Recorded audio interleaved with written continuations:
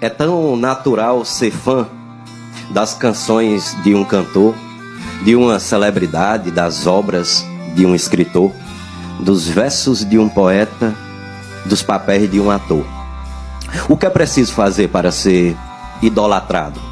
Atuar numa novela, num filme, num seriado, ter na rua um outdoor com seu rosto estampado?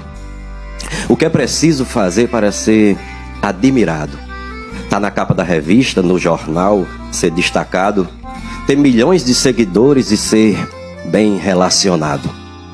Quase sempre, meu povo, quase sempre há barreiras entre o ídolo e você. O palco, que é mais alto, a grade para proteger, a distância de uma imagem projetada na TV. Não é errado ser fã. Errado é endeusar. Afinal, afinal somos iguais e se parar para pensar, viemos do mesmo canto e vamos para o mesmo lugar. É preciso ser famoso para ser ídolo de alguém?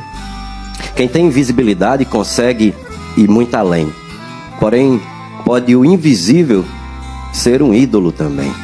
Basta você reparar no que há por trás do pano. O que tem dentro da gente será sempre soberano. Por isso, antes de tudo, seja fã do ser humano. Dá para ser fã do gari, que limpa sua cidade, do porteiro, que lhe trata com tanta cordialidade. Eu garanto, dá para ser fã de gente de verdade. Basta você enxergar com os olhos na mesma altura o professor do seu filho, o vendedor de verdura, o agricultor no campo e o doutor que busca a cura. Tantos ídolos, meu povo. Tantos ídolos no mundo que passam despercebidos, dificilmente lembrados, facilmente esquecidos e por nossa ignorância tão pouco reconhecidos. Seja bom, justo e honesto. Não faça mal a ninguém.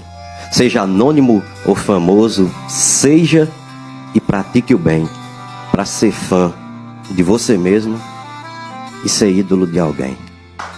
lindo.